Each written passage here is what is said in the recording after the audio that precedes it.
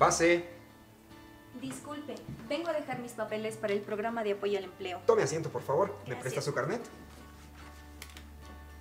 Muy bien, es usted mayor de 18 años. Eh, ¿Trajo por si acaso la factura de luz, agua o gas? Sí, también está el croquis de mi domicilio impreso en Google Maps. Ahora es más fácil. Sí, está muy bien. También necesitaré su currículum, por favor. Claro que sí.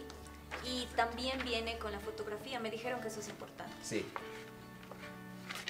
¿Tuviera por si acaso algún estudio superior para adjuntarlo?